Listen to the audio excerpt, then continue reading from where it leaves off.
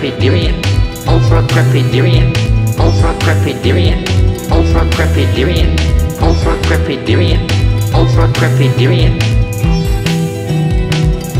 Uh, people like Jay Smith, uh, another group of uh, people that used to be Muslims, uh, these uh, murtads, uh, they are so cringeworthy. It's frankly pathetic, the lives that they're living. Untrained, unqualified, ignorant, arrogant individuals.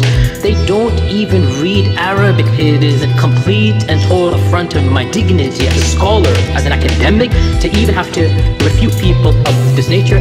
What the hell? I mean, not in my nature to, to stoop to the level of every single barking dog. I just don't do that. I don't respond to stupidity and foolishness. Ultra crepidarian, ultra crepidarian, ultra crepidarian, ultra crepidarian, ultra crepidarian, ultra crepidarian. Or David Wood, Have rarely come across somebody who is more vulgar, vile, foul-mouthed, vicious, repugnant, depraved excuse of a preacher. Whatever he is, David Wood, he is so uncouth, un untrained idiot. Somebody who's such an ignoramus. And I wonder, truly, does he know he's lying or is he mentally insane?